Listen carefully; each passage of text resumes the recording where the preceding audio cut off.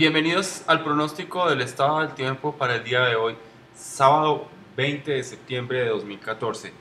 Durante las horas de la madrugada la mayor nubosidad se concentró en el centro y norte de la región andina, en zonas de los Santanderes, Boyacá, Cundinamarca, Eje Cafetero, Tolima, Huila, Oriente de Antioquia y en áreas de Cesar y Bolívar.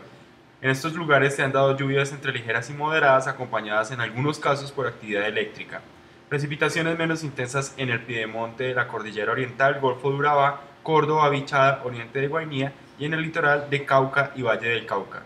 En la parte media del río Bogotá se han presentado algunas lloviznas o lluvias de carácter ligero. El pronóstico para la sabana de Bogotá nos indica un día bastante nuboso en horas de la mañana con algunas lloviznas o lluvias en sectores especialmente del oriente y en la tarde también condiciones bastante nubosas con precipitaciones a lo largo tanto de la ciudad como de la sabana.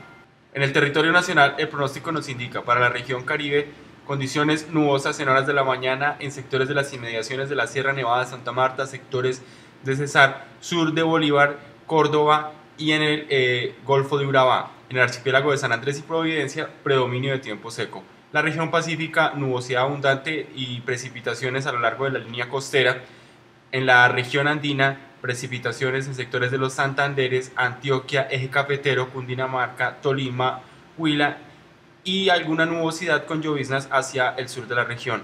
Para la Orinoquía, las precipitaciones se concentrarán en zonas de Bichada y de Meta.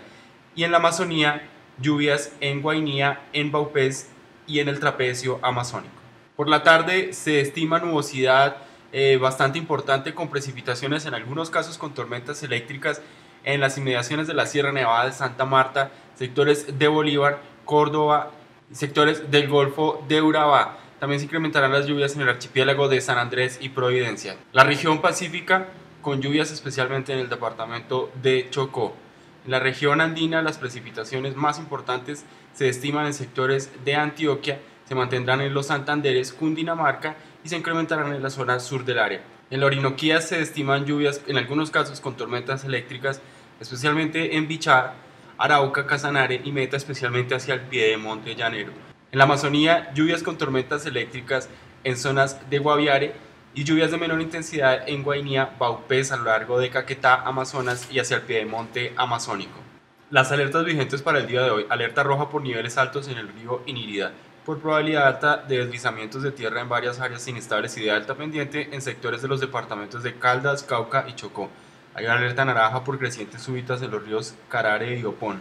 Por probabilidad moderada de ocurrencia de incendios en la cobertura vegetal en sectores de la región Caribe andina. Por probabilidad moderada de deslizamientos de tierra en varias áreas inestables y de alta pendiente localizadas en sectores de las regiones andina, Orinoquía y Pacífica. Para mayor información los invitamos a que consulten la página www.ideam.gov.co sección pronósticos y alertas o que se comuniquen las 24 horas al 307 5625 opción 1.